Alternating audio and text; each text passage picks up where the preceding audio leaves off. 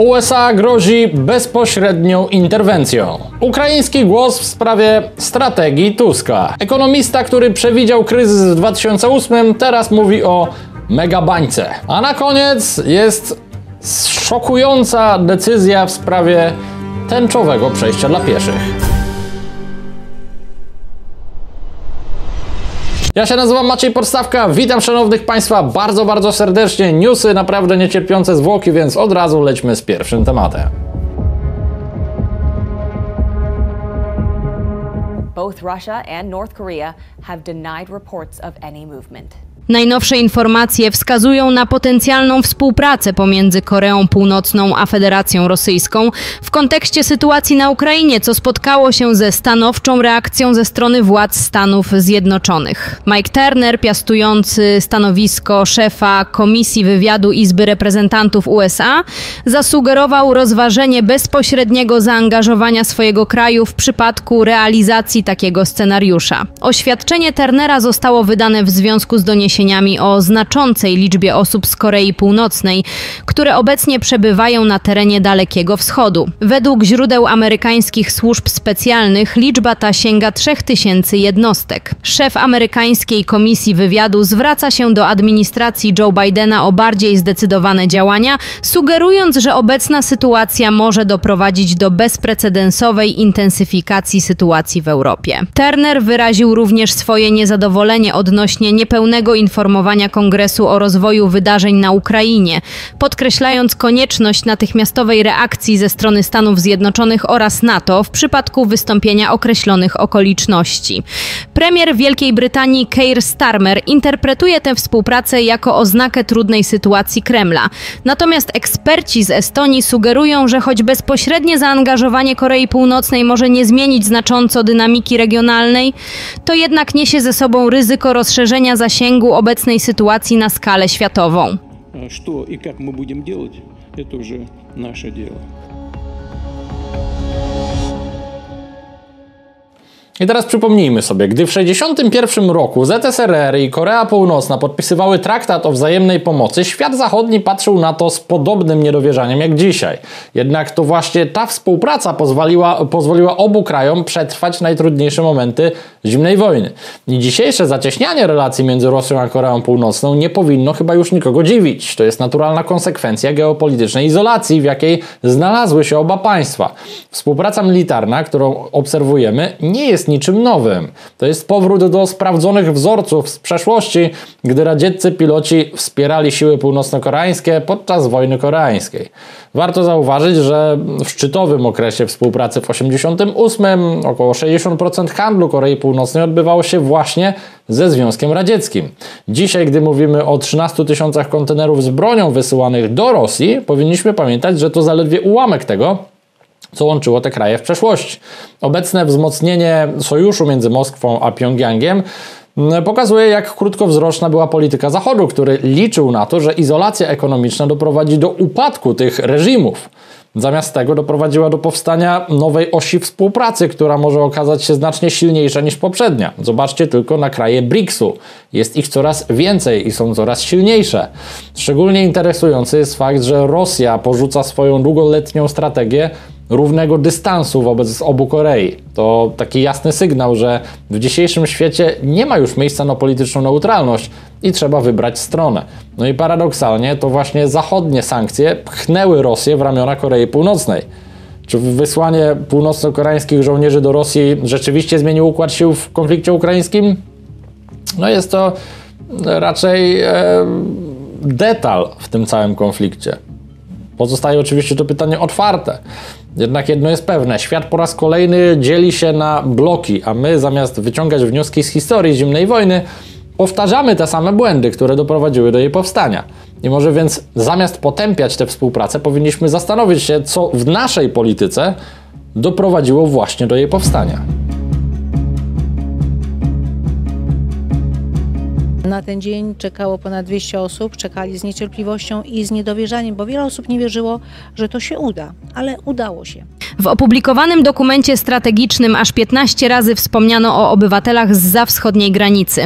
Fundacja Ukraiński Dom wyraziła zaniepokojenie, że tak znaczące skupienie na jednej grupie narodowościowej może prowadzić do niefortunnego podziału przybywających do Polski osób na bardziej i mniej mile widzianych ze względu na ich pochodzenie etniczne oraz geograficzne. Premier Donald Tusk przedstawił na spotkaniu partyjnym plany dotyczące tymczasowych modyfikacji procedur azylowych na wybranych terenach. Dotyczy to osób kierowanych w stronę polskiej granicy przez niedemokratyczne władze państw ościennych. Organizacja Ukraiński Dom odniosła się krytycznie do przedstawionej strategii, wskazując, że nie spełnia ona pokładanych w niej nadziei i stanowi głównie opis obecnej sytuacji, zwłaszcza w kontekście już funkcjonujących procedur wizowych oraz monitorowania dobrowolnych powrotów. Ukraiński Dom zwraca szczególną uwagę na fakt, że dokument zdaje się postrzegać osoby przybywające do Polski głównie przez pryzmat ich potencjalnego wkładu w rynek pracy. Organizacja uznaje takie podejście za niewłaściwe, szczególnie biorąc pod uwagę, że według dokumentu ma to być podstawowa korzyść dla polskiego społeczeństwa. W strategii podkreślono również, że obecność osób z zagranicy nie powinna wprowadzać dyskomfortu w codziennym funkcjonowaniu mieszkańców Polski. Przedstawiciele ukraińskiego domu wyrażają szczególne zaniepokojenie planowanymi modyfikacjami procedur azylowych, określając je jako potencjalnie ryzykowne. Zwracają uwagę, że mimo iż zmiany mają dotyczyć konkretnego odcinka granicy państwowej, to zbyt ogólne sformułowania mogą prowadzić do niepożądanych konsekwencji i naruszenia obowiązujących norm prawnych. Dziś po remoncie, gruntownym sprzątaniu wprowadzili się pierwsi mieszkańcy. O proszę bardzo, jaka to niespodzianka. Wyborcza znowu próbuje robić nam gówno z mózgu, zrównując przyjmowanie legalnych uchodźców z podobnej kulturowo, jakby nie było Ukrainy, do nielegalnych, pozbawionych dokumentów przybyszów chuj wie skąd tak naprawdę, z, jakiego, z, z jakiegokolwiek kraju mogą być. Z jednej strony Donald Tusk, wielki europejski demokrata, obrońca wartości i praw człowieka, a z drugiej polityk, który właśnie ogłosił plan łamiący podstawowe zasady prawa międzynarodowego.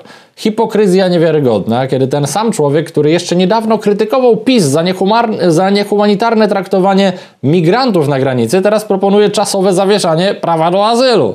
A gdzie w tym wszystkim są te europejskie wartości? Najwyraźniej można je zawiesić, gdy stają się niewygodne. Prawnicy jasno mówią, że takie działania są sprzeczne z konwencją genewską i wieloma innymi przepisami międzynarodowymi.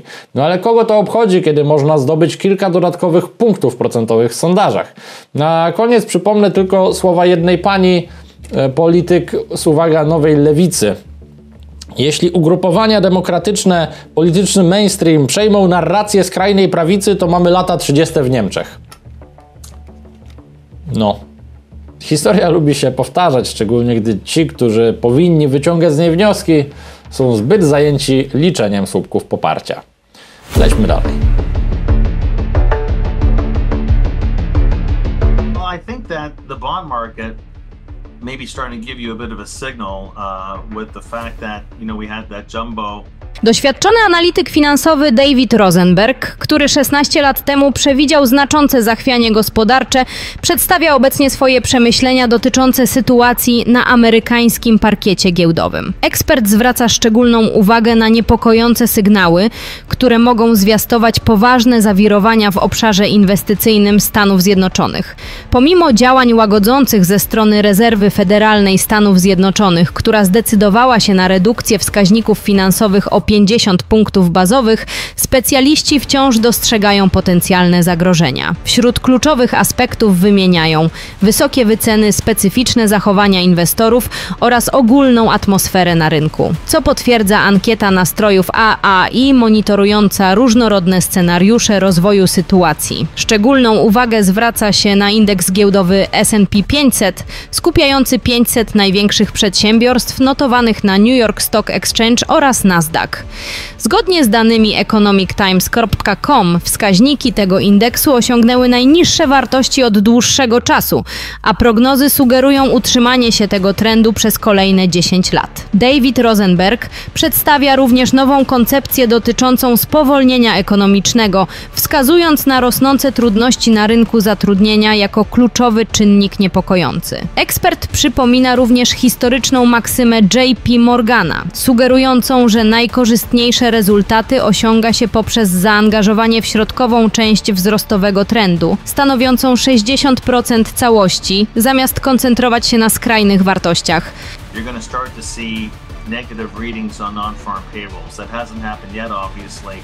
Because the firing rate's been so low. Companies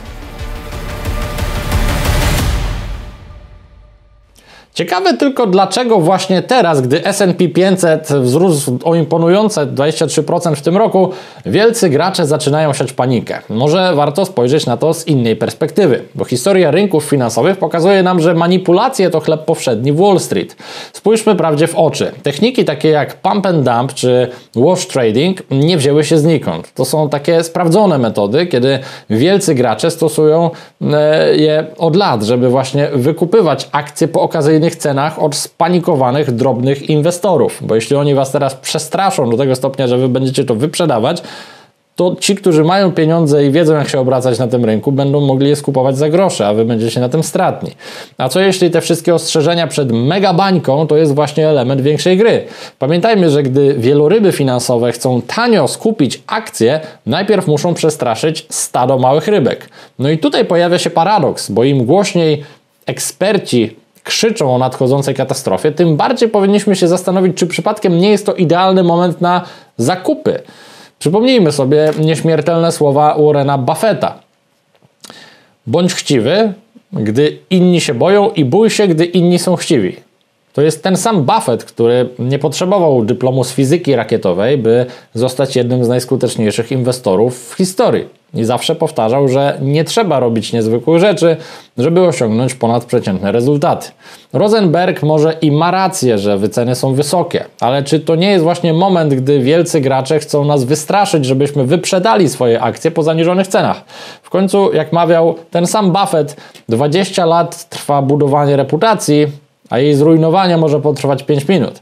I może właśnie dlatego niektórzy ekonomiści tak chętnie straszą nas kryzysem, bo wiedzą, że ich reputacja i tak już jest zbudowana. Pamiętajmy, że w świecie finansów nic nie jest czarno-białe. Gdy wszyscy biegną w jedną stronę, czasem warto zapytać, po co? Komu służą te wszystkie przepowiednie? Bo może właśnie teraz, gdy wszyscy wpadają w panikę, pojawia się ta jedna z niewielu szans w życiu, o których ten sam Buffett mówił szansa na zrobienie tego jednego kluczowego, dobrego wyboru. Jeśli inwestujecie na giełdzie, to jest to dobry moment, żeby przede wszystkim obserwować.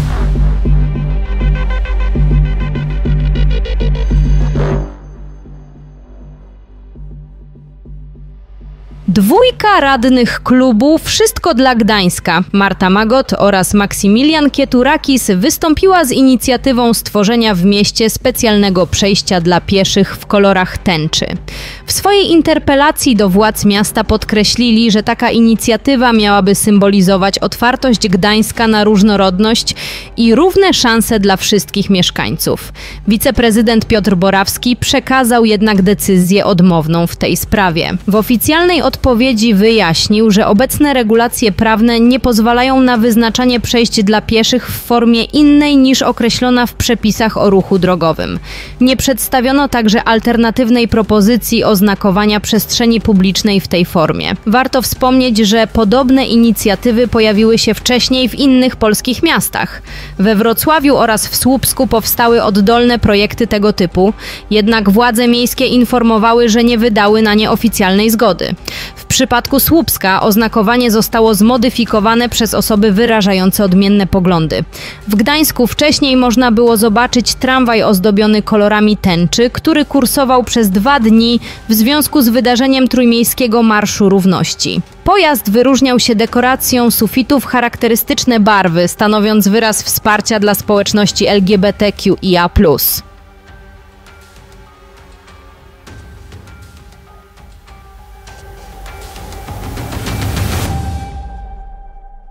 No i co, spodziewaliście się czegoś takiego?